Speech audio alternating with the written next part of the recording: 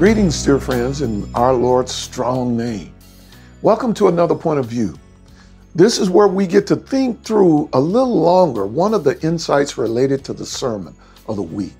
This week was a significant week. It was the fourth Sunday after the Epiphany. We looked at this marvelous text in Luke 4 21 through 30, where Jesus, our Lord, was rejected at Nazareth, his own hometown.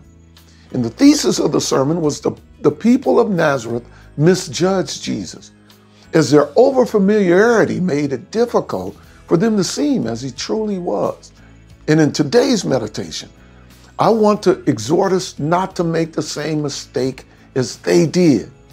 We must be careful not to allow our supposed overfamiliarity with, with the Lord, with whom we think he is, to interfere with who he actually is in his true identity.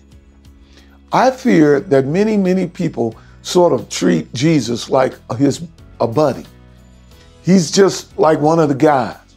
And you know, we we we are so familiar with him and we use phrases like he's my pal and my friend and we we tend to just overly exaggerate our relationship with him in terms of a lack of somber and sober relationship to him as the Son of God. Dear friends, in Matthew 11 27, Jesus really makes it plain that it's it's, it doesn't pay for us to be overly familiar with him. He will say in verse 27 of Matthew 11, All things have been handed over to me by my Father, and no one knows the Son, no one except the Father.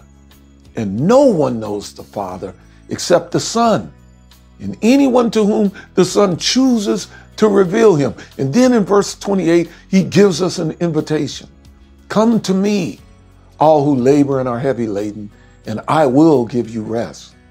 Take my yoke upon you and learn from me, for I am gentle and lowly in heart, and you will find rest for your souls. For my yoke is easy and my burden is light. Dear friends, in all the ways we've depicted and thought about our Lord, in all the ways we think about him, we should always remember that he's different than what we think. Don't become so overly familiar with him that you don't allow him to teach you fresh, new things about who he is. Because this was the problem of the people in his own hometown.